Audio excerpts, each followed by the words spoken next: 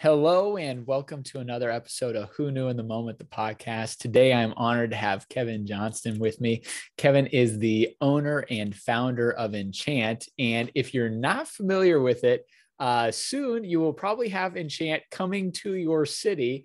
And otherwise, you can at least check them out on Instagram, and there's some YouTube videos highlighting it. But it's a pretty phenomenal winter display. And so I can't wait to uh, break that down with Kevin. But Kevin's going to highlight a lot of his pivotal moments and how he's gotten to where he's at today. So, Kevin, thanks so much for being on.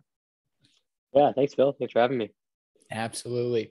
So, Kevin, uh, let's kick it off into some younger years. So, growing up in Canada, and at some point you decide, you know what, I I know people like to have lights uh, on their homes for holidays. Maybe I could be doing that. So, talk a little bit about getting started in that uh, that industry.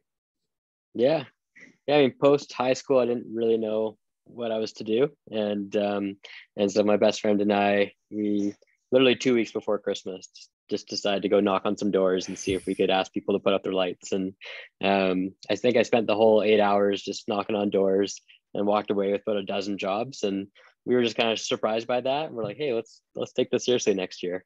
And uh, I think the following year we um, boarded my dad's truck, put a magnet on it, and uh, before you knew it, we had a little business going. I love that. So I've got to know is there any entrepreneurial past in your family where parents or grandparents or aunts or uncles entrepreneurial, or is this just something kind of out of the whim for you? Um, yeah, my dad's an entrepreneur. So okay. it's, um, yeah, they had zero pressure on me to do any kind of post education. In fact, I barely finished high school. So, um, and they were very uh, gracious and supportive in that process. If ever wanted to get picked up from school, they would come grab me. And, uh, um, and even back in high school, I was actually building websites for small businesses. And um, so I had, yeah, just always selling golf balls when I was a kid. Um, I was always doing something. And uh, so when Christmas lights rolled around, it just, yeah, it was an obvious thing for us to run with. And, it worked out. Yeah. So one thing I, I I'm curious about is you know as you have entrepreneurial parents, uh, your dad uh, doing that, were there certain things about his lifestyle or what that was able to provide you that you're like, ooh, this is attractive to me? Or maybe certain things about uh, thinking if I didn't have that, that would be unattractive to me if I had to go work for somebody. Yeah. Uh, honestly, it was it's just so ingrained in me. Like never even thought about getting a job somewhere. Like it, um, it was always about starting something and um, just figuring out a way to make money at the time. And um, and like even my dad, like he he's done some pretty unique stuff in his career, um, but it wasn't all roses and and beautiful. So um, yeah, he. Did, but at the same time, I just I saw him work hard and I saw him have a goal and work towards it, and so that just became my normal. Absolutely. So, getting back to the story, we're 19. We've knocked on some doors. We got 12 yeses. Uh, we're going to start hanging Christmas lights. Now, I think for a lot of people starting a business, one of the things that they can run into is, well, I didn't have the perfect business plan, so I just didn't even get started. So, talk a little bit about, you know, yes, there's something to be said about having a plan, having a strategy, but there's also something to be said about just get started, right? The the rest of it can be figured out, but just get started. So talk a little bit about that for you. Yeah, like I would say my strong suits are more on the creative um, side of things. So like business administration is definitely not my strong suit. um, and so it was all about just getting the name right, getting the branding looking good. Um, and and then I don't know where it came from, but I just always had a passion for doing a good job.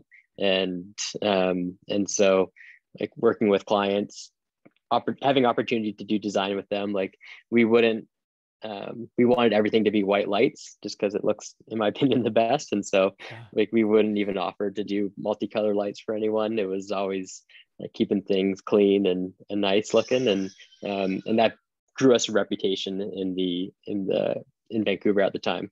Um, so we ended up doing like the nicest houses in town because the owners wanted a very particular job done, and they knew that uh, my best friend Cam and I at the time were doing that.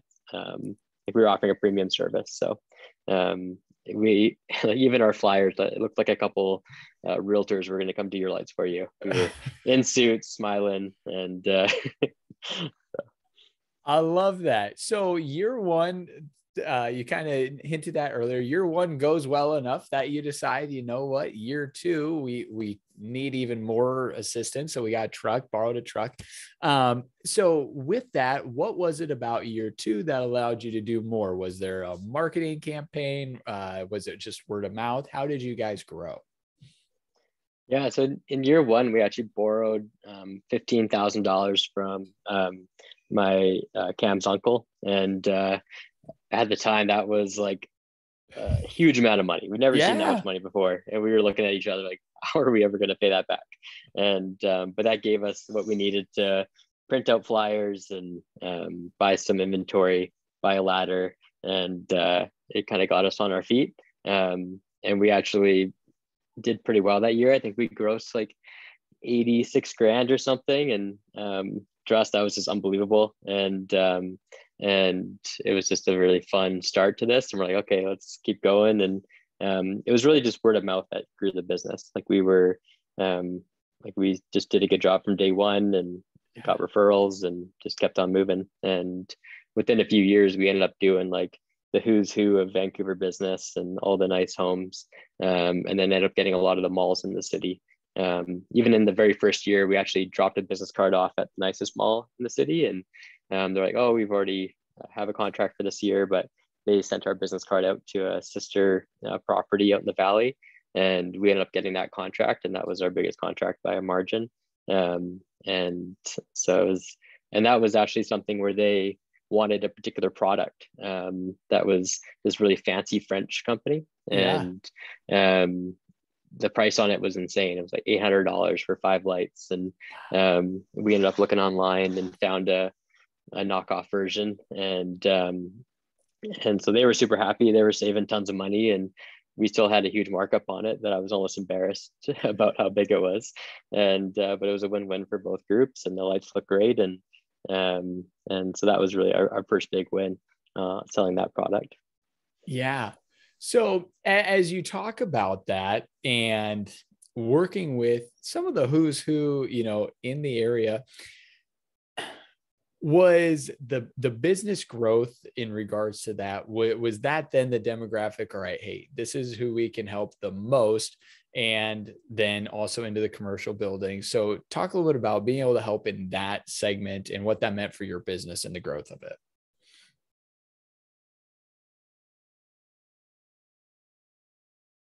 And so we want to work with clients who expect that. And um, so our, our marketing naturally went in a very premium direction. Um, the service that we offered was premium, and and also you can allow your pricing to be premium as well. And yeah. um, and so that's it. Just really worked for everyone, and um, they wanted to know that two guys were going to come in and do a quality job, and and if anything went wrong, we they'd call us and we'd be right back. And um, so just offering a really high level service, and um, and yeah, it's like you look after the guest, they look after you. It's the same mentality now that we're doing events, like, um, and but it's just gone from client to guest.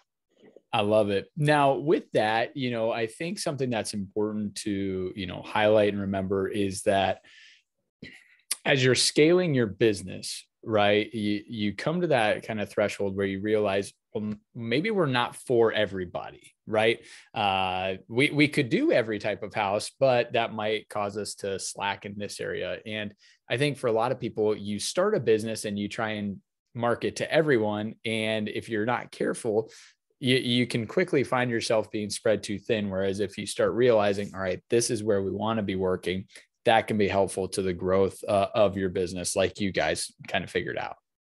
Yeah, yeah, there was definitely a few clients there that we shouldn't have taken in the early days, and you end up spending all day on one tree, and, and it's just a waste of everyone's time. Yeah. Um, but finding those right clients who um, appreciate what you're doing, appreciate the service you're offering, and um, and are, are willing to pay for it. I love it. So, as you're growing and you are, you know, yes, in commercial properties, you're doing the uh, big, big names, who's who's of Vancouver.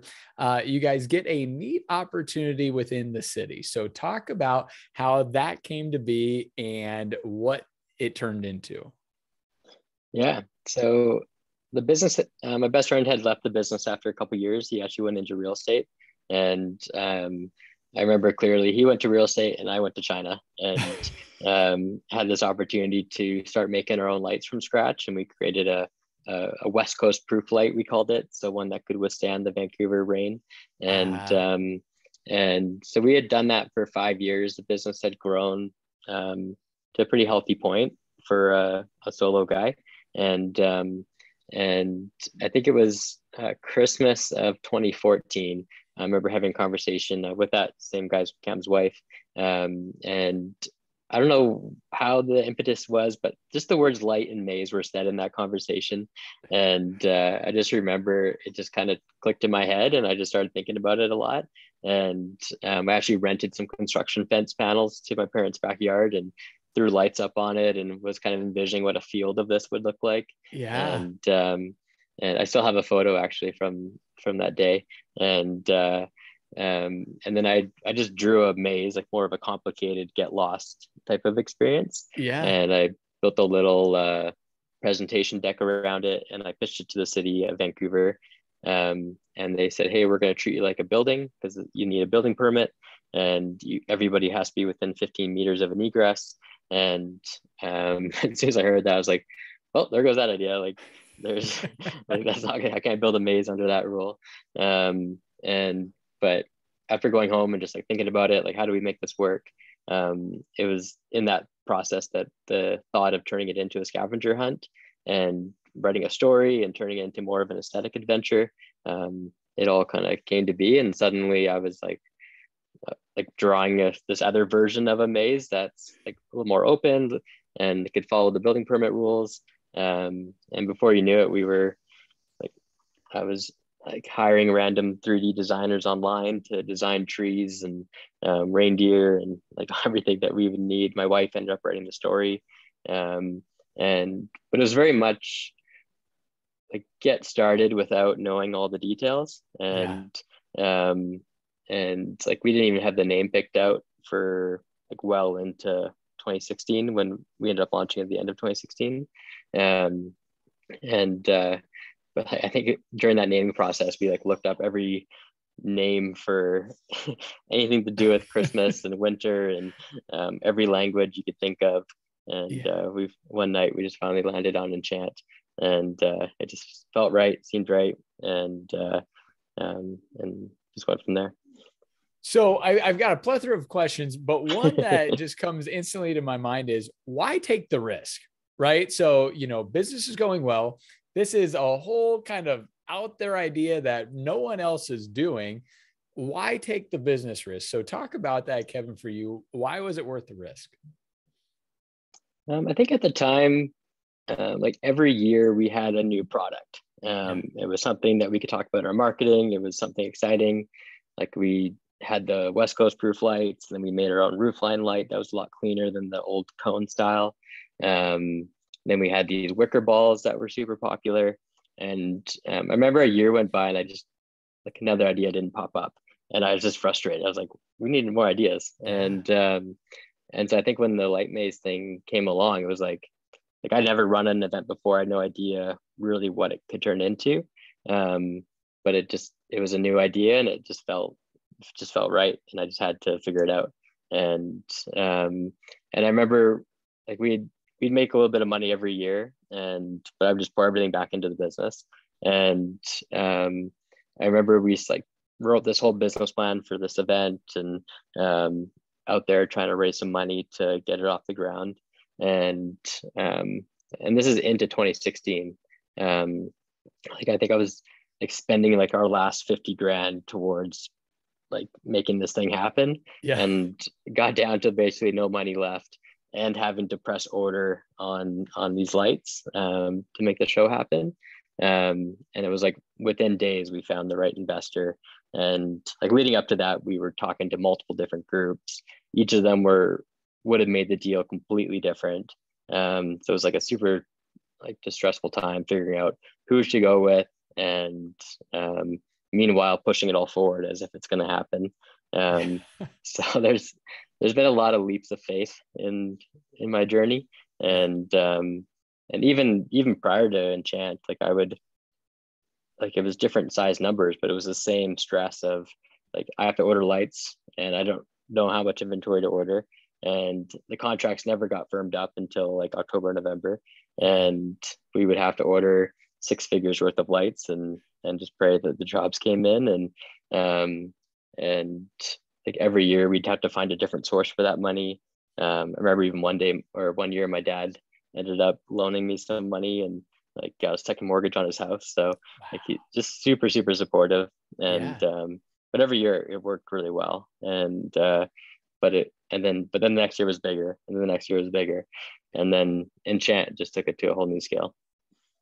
So as you're saying that, I, I want to highlight this and just hear from your experience how has the support of people in your life whether it was parents uh, you know you mentioned your wife helped write so i'm sure she's supporting you uh, but talk about the support or having support from the people closest to you and what what that's meant for you and how that's helped you and as your business has grown.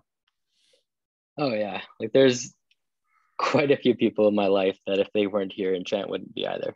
Yeah. and um so it's yeah like i may be the founder but there's like don't give me all the credit. Like there's a lot of people who helped make enchant happen. Um like even the relationships that we built overseas for manufacturing um like that was like we've been using the same group for like 13 years now. Wow. And like the things that they've been able to pull off on the not great timelines that I've given them is like truly heroic. Um and uh, I think within a couple of years of the original business, um, I did find an administrator um, uh, named Cindy, and she really made a unbelievable difference as well.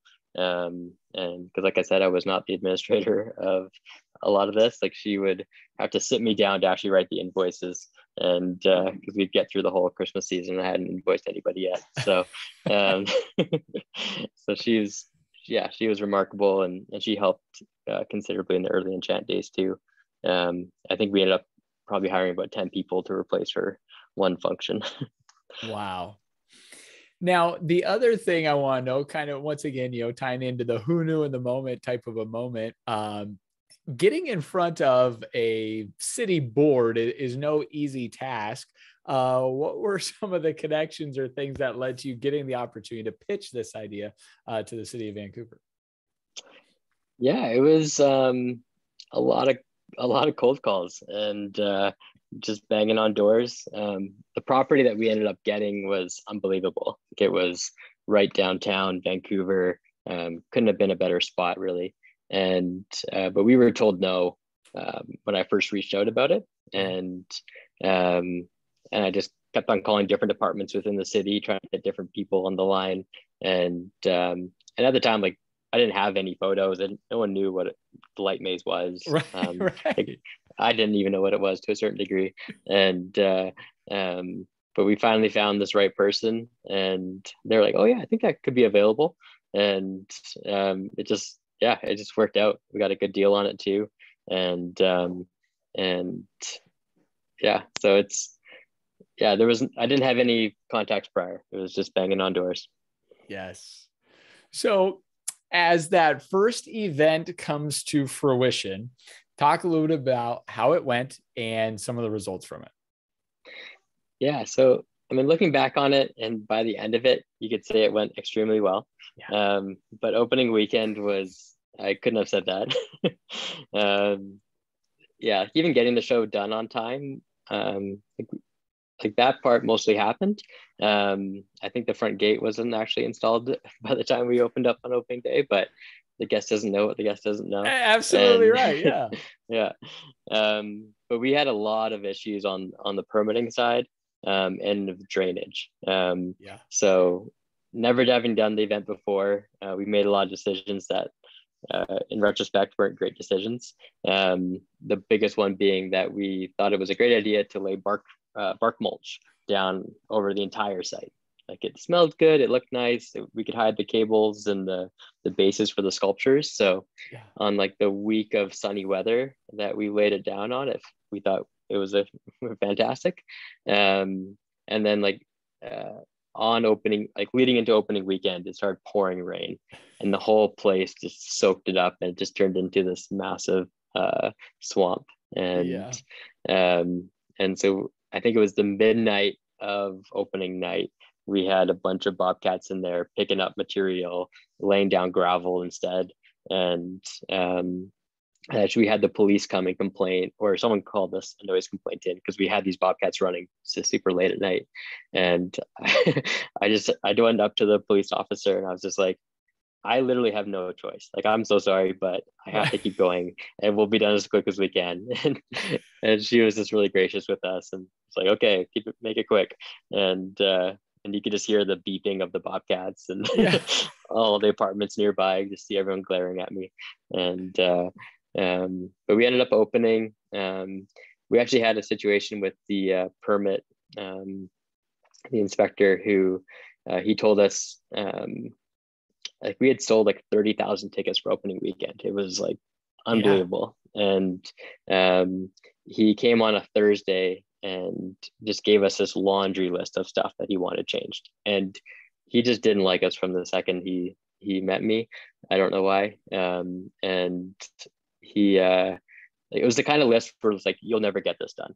And, right. Yeah. Um, and so we just put our head down, got through all of it, and he said he would come back on Monday.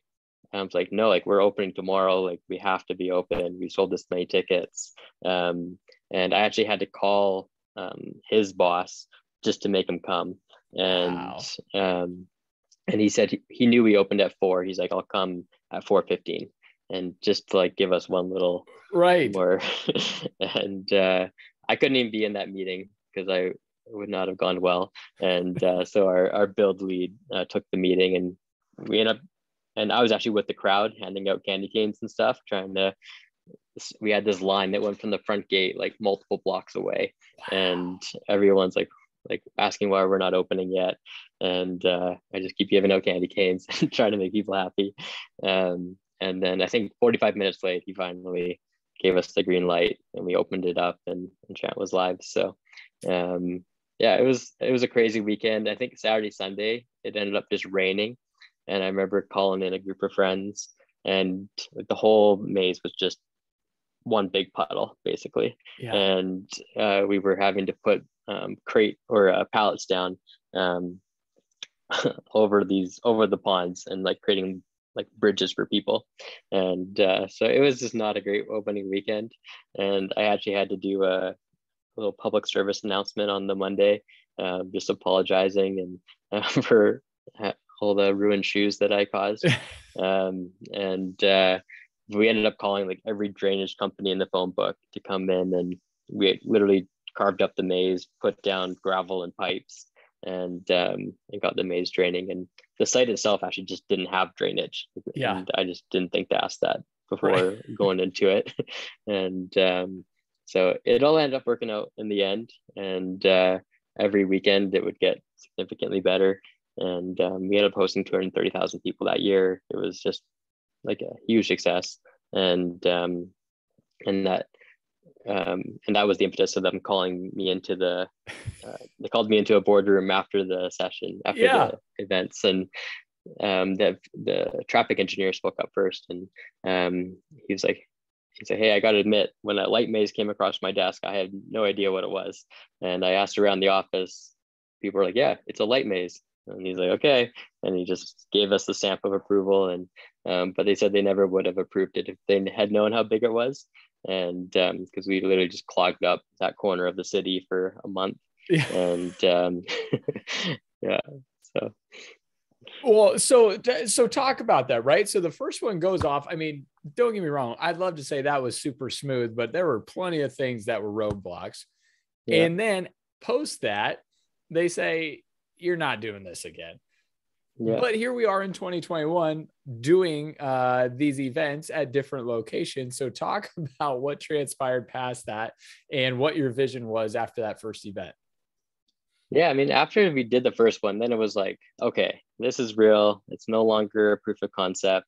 Yeah. Um, and like we had real numbers, we had real budgets, we had actuals on everything, and um, and we definitely wanted to do it again and just continue to improve upon it. Um, and we looked. The city was, even though they told us we couldn't do it, like they were still very friendly. Like they're like, we love your show. We want to see it happen in the city somewhere, but we just literally can't think of anywhere that's big enough to host it. And so I did look in other parts of the city, and nothing was standing out to me. Um, and that was in January, and like already Christmas is coming for me. Like it's yeah, right. We we got to find something quick, and so I just thought about. Um, I wanted to get out of the rain because that was our number one issue, and uh, um, so I thought about the southern U.S. and thought about uh, baseball not being in season, and I literally just Google mapping tons of stadium uh, properties all over the U.S. and I just stumbled across the one in Dallas and saw a big flat parking lot. And I'd never even been to Dallas before, but I I called the Rangers and asked if I could rent lot F. And um, and uh, the investors that I had at the time, um, they were some lenders. Um, they're like, "There's no way you're going to get visas, and it's just too far away. It's too far fetched for us. Like we we can't do it." Um, so I was like, literally left that meeting and on the on the drive home picked up the phone and called the first guy i could think of who was a christmas light client um, and just he thankfully he picked up. I drove straight to his house.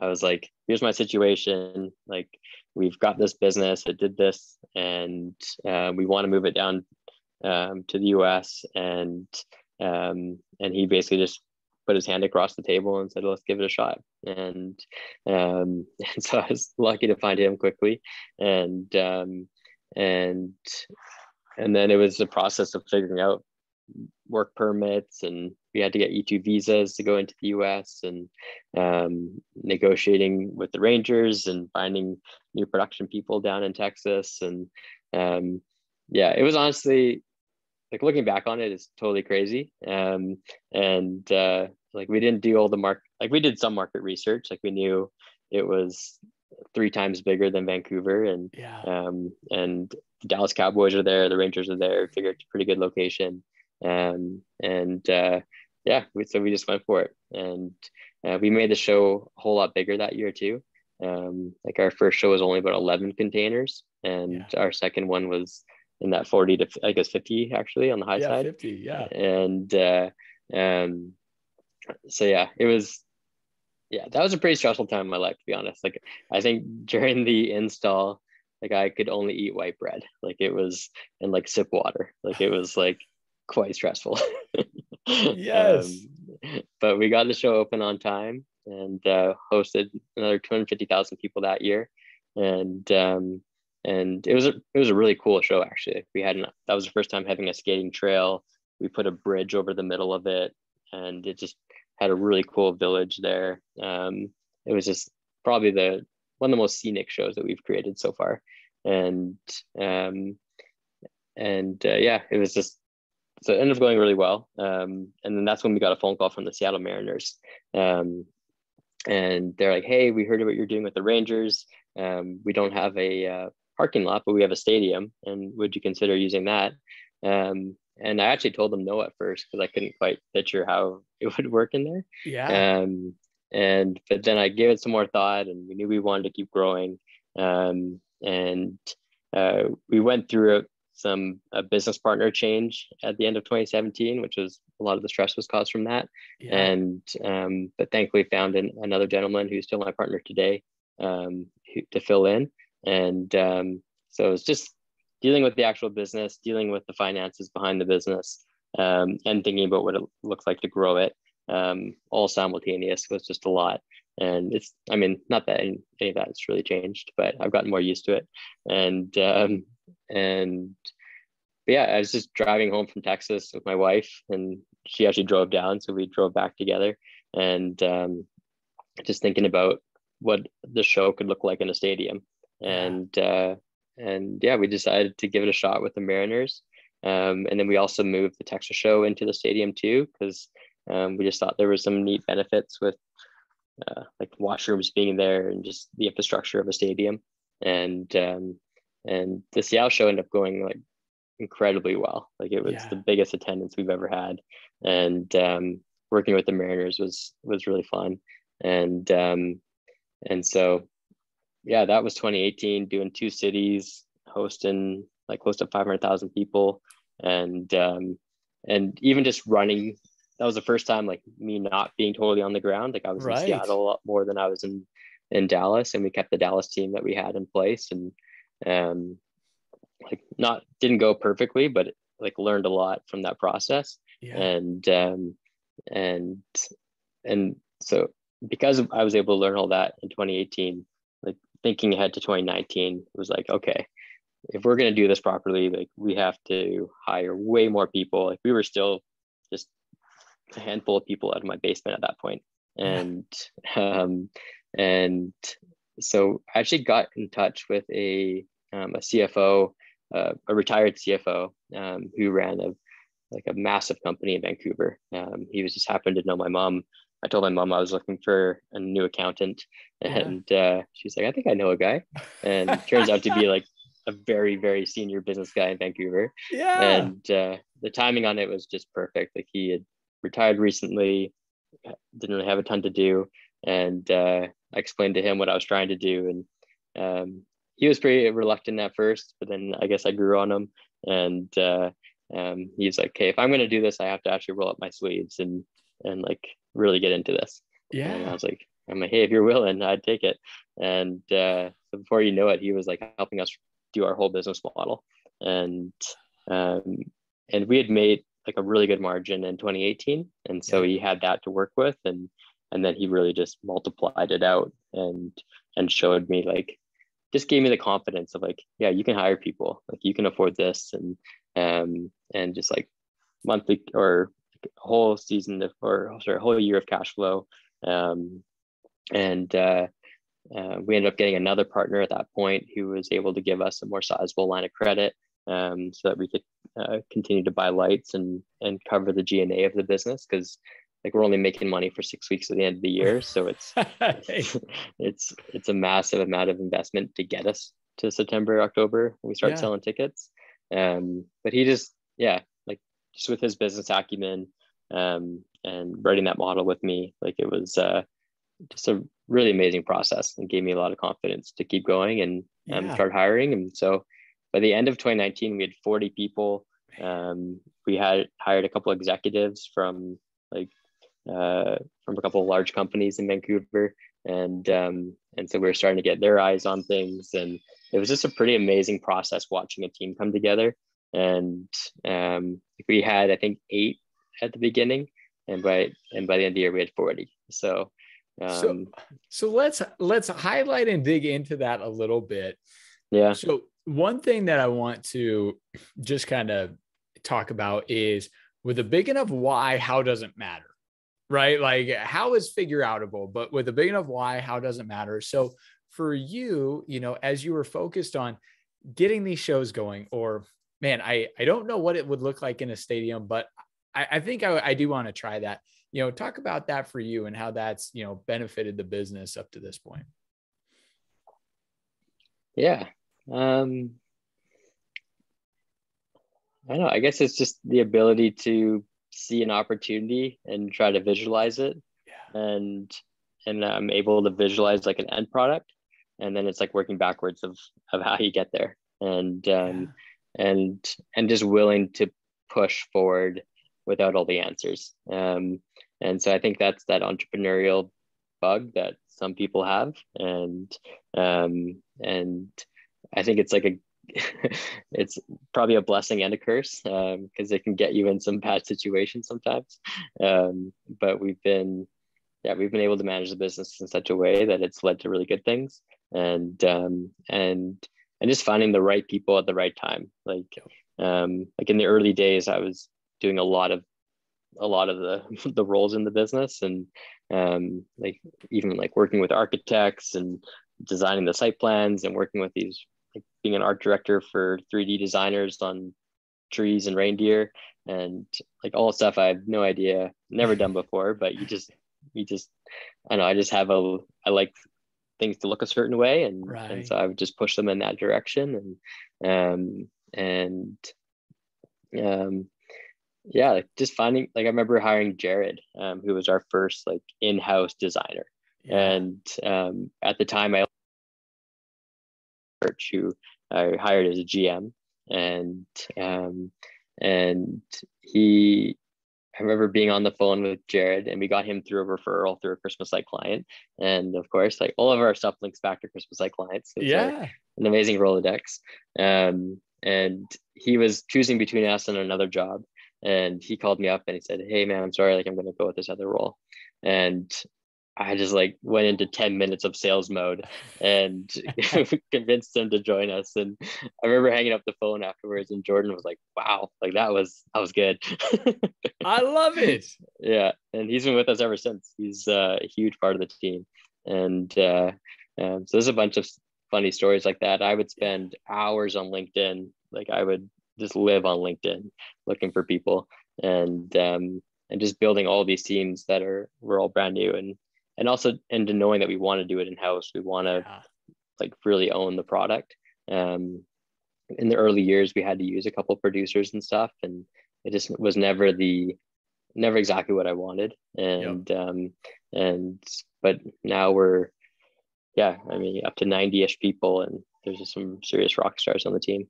You bet. So we're, we're progressing, right? So you said, hey, we we did uh, Dallas, then we did Seattle, then we get the Washington Nationals on, we get the Rays Yeah. on. That was a cool year. Yeah. So it, it keeps expanding, it keeps growing, right? Word of mouth is impactful, and you're getting calls from prestigious organizations to come work with. Yeah. Within each of those shows, and I don't know if this is a secret or not, but do you do the same show at each spot, but just switch it to fit the um, design or the layout that you have, or is it a different one at each geographic location? Um, so yeah, in 2018, we did launch our second story. So um, we've got the Great Search, which is the original story of Santa losing his nine reindeer in a storm and people going in the maze to find all nine reindeer. Um, the second story was um, is called the Mischievous Elf, and it's about eight toys that this uh, character Eddie has hidden, um, Eddie the Elf, and um, so that's the second story. So we launched that in Dallas in 2018. Um, and then in 2019, I think we did two great searches and one uh, mischievous elf story.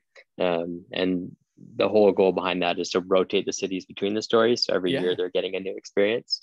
Um, and yeah, so the Mariners spoke super well of us um, after the 2018 ex- yeah 2018 experience, and um, and that's when we got phone calls from the Rays and the Nationals um, like the Rays heard about us in an article, and the guy just literally cold called our or cold emailed our website.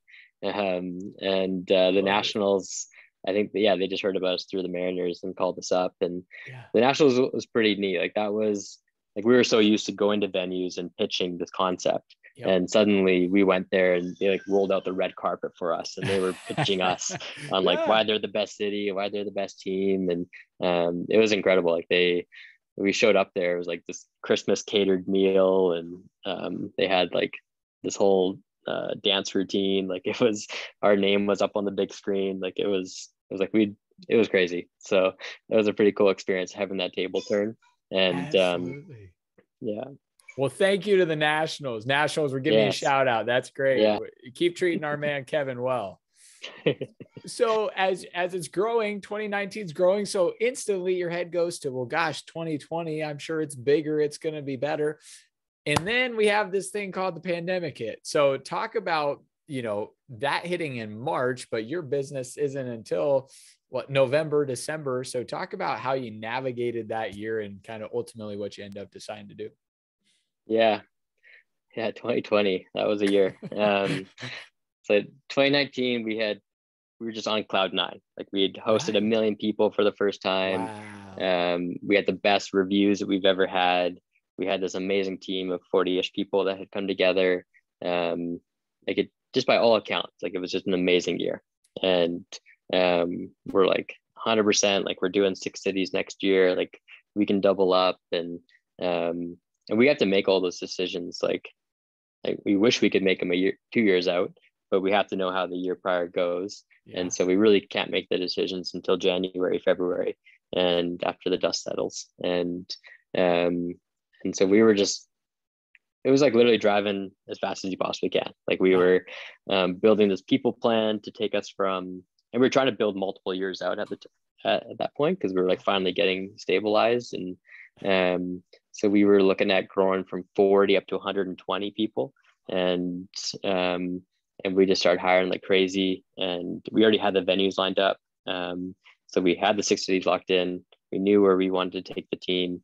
Um uh, we were working on the financing side with the banks and we're feeling really confident that, that was all going to come together.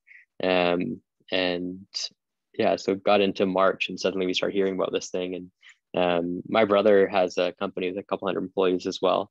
And so we were like talking about it like are we shutting our offices down? Like yeah. we were pretty quick to to do that like like very early days. Um and and just yeah i just remember every week felt like a, a year or something. Like it just time was moving very slowly. And um it just becoming more and more obvious that like hey this is this is a thing and um and so we had we ended up like it was common at that time for everyone to be furloughing and um, and so we ended up furloughing uh, 40 people um, which is basically everyone we had just hired for the right. ramp up and um, so that was a super frustrating experience because like it was just like all this excitement and suddenly it was like tearing it all down right. and um, and so it was while trying to stay optimistic keeping the people that you do have the morale up and excitement yeah. there and um, so we kind of end up waste not wasting, but it wasn't really our fault. But like the first six months of the year, we didn't really know what to do. And um, and by like April is when we usually place our final orders, and so everyone was like racing to April to like, okay, that's um, like we have to get everything ready by then. So everyone was kind of focused on that. And then like the day that our orders were due was the day I pulled the plug on all of our shows for that year. And um, it was obviously a super hard decision. Um, and at the same time, there was like a little bit of a relief there because finally we're like, okay, we're just not doing it. Because like right. before it was like, we're on, we're off, we're on, we're off, like flip flopping back and forth. And it was just like super stressful and difficult to lead people without a clear right. vision. And um and so we were like, okay, how are we going to make money this year? And um, we ended up coming up with this concept called Santa Calls. And um, it was this idea that parents could call their uh, children as Santa, and so it would change your face, change your voice, um, and uh, like it felt like a great idea. So the marketing team got started on all the uh, branding and the marketing campaigns that would go along with that. The tech team got started on um, the actual creation of this app in a very tight timeline, and um, and so I mean, we sort of semi-launched it. Like it, the voice portion didn't work, and neither did the screen recording. Um, and the screen recording was like the whole point of the app, so that you could share that. It was like the whole marketing plan, um, that user-generated content, and yeah. um, and so it didn't end up working, but it was it gave us all something to focus on. Yeah. And and then the design team were all focusing on the show itself and like working on our branding, working on the, the shows, and like coming up with new product ideas. Um, and so looking back on it, it was there's a lot of blessings that year. Yeah. Um, like the shows are better for it, and we were able to um, like our chief creative officer Cosmo was able to work on a bunch of um, like foundational uh, lore for our our storytelling and like where enchant's not just a name it's a place and yeah. like, building this whole framework behind it and um, there's a lot more depth to the brand now and yeah. uh, that's going to pay off for forever and um, yeah so it's um, so i remember like uh, on the finance side of all that um, which we haven't i kind of hid a lot of this from the team because um, i just didn't want to cause worry but um, like we had 40 employees and um, i didn't want to cut any salaries because it just didn't kind of feel right because i wasn't asking anyone to work less i just if anything people working harder yeah. and um, and uh, we had three partners at the time, and one of the partners um, didn't. Uh, he thought we should just let everybody go, and mm. he was like, "You just hang out. We'll wait this thing through, and we'll rebuild when it's time." And I just like vehemently disagreed with that concept, and um, like this guy had never even been to the show before. He had no idea what went into what we do. And um, like if you get rid of these 40 people, like like it's gonna take years to rebuild this. Like right. It, um, and you're definitely not gonna start off the gates with three again. Like mm. you're gonna start with one and it's gonna be painful. Um, and uh, so we had actually had to have him leave uh, the business and um, and the other partner um, and I've have stuck through and um, and but it was like pretty hairy like down at the like the end of the year. It was like, yep. like there's no more cash in the bank. And um and we actually ended up leasing a bunch of product um from our inventories from the shows. Mm-hmm. Um just some like uh, there was a couple events that did take place on the East Coast, and so we leased them some product, and that gave us uh, like a little bit of a couple months of life, and um, and then uh, we were working on like different financing deals, talking to investors, looking at debt, like all these different options. But we were just asking people to get involved in such a unknown right situation. Like, yep. and we needed a lot of money. Like it was like we need ten million dollars, and um, you may lose it all. Like just what everyone wants to hear, yeah. right? Yeah. It wasn't the easiest sale, and yeah. uh, and even with that, we still had a few guys who took a deep look at us and um, and we were pretty close to closing a couple of those deals and um, but it was all of a sudden you don't own the comp- as much of the company anymore and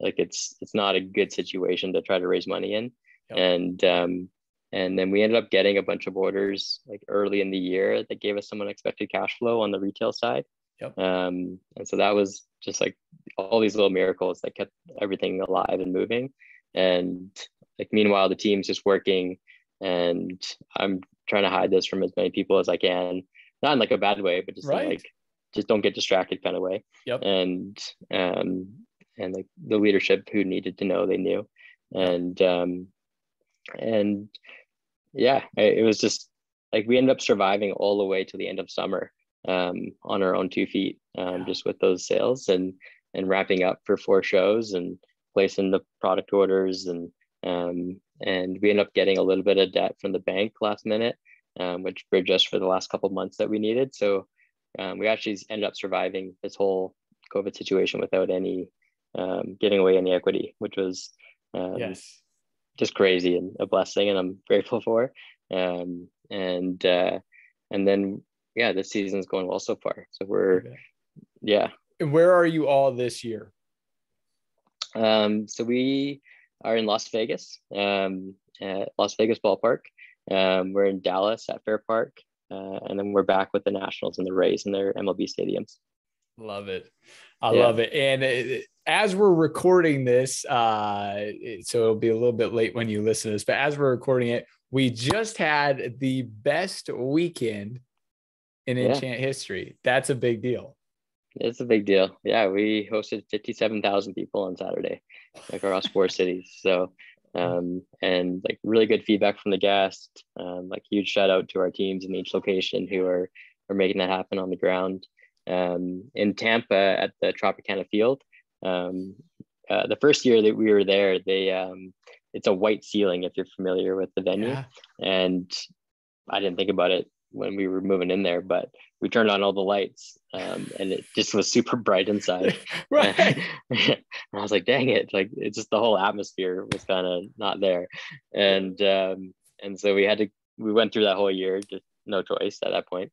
Um, but I was like, I really don't want to go back there if we have to do that again. And because it's just not the brand's level that I want. And yeah. um, I was like, unless we can black out this stadium somehow, like ah. it's not going to happen. And um, and so I was like, what if we just build a huge curtain and raise it up in the rafters and, and blocked it out? And we were told no like quite a few times um, from a lot of different people, including our own team members. And I was like, no, we can do this. And um, but it, and it ended up working out. So we've created yeah. a 450,000 square foot curtain. Wow. Um, and it looks amazing in there. It turned out way better than even I imagined. And um, and it's allowed us to open up during the day. Yep. So it's like another hundred thousand tickets of inventory, um, and yeah, so that's been really cool. Like that's like helped us hit those numbers on Saturday because we're yeah. selling out during the day and our normal nighttime hours. Um, So it turned out really well. That's amazing.